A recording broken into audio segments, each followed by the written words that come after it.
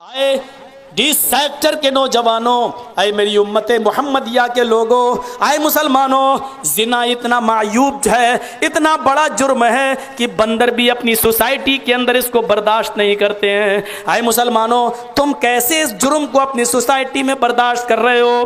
तुम्हारी आँखों के सामने तुम्हारा आ, आ, तुम्हारी आँखों के सामने आज एक लड़का एक लड़की को कैसे फ्रेंड गर्लफ्रेंड और बॉयफ्रेंड लेता है और माँ बाप कैसे ये गवारा कर लेते हैं? मेरे भाइयों, अपनी आँखों के सामने ये सारे मनाजिर हम देखते हैं और हम बर्दाश्त करते चले जा रहे हैं। क्या हमें मालूम नहीं है कि दयूस किसको कहते हैं? क्या दयूस वाली वो हदीस हमने नहीं सुनी है कि जिसकी माँ, जिसकी बहन, जिसकी बेटी, जिसकी बीवी लोगों के सामने वो दयूस है। यानी अगर हमारी बेटी लोगों के सामने बेपर्दा है तो बाप दयूस है। हमारी बहन लोगों के सामने बेपर्दा है तो भाई दयूस है। हमारी माँ लोगों के सामने बेपर्दा है तो बेटा दयूस है। हमारी बीवी अगर लोगों के सामने बेपर्दा है तो वो शोहर दयूस है।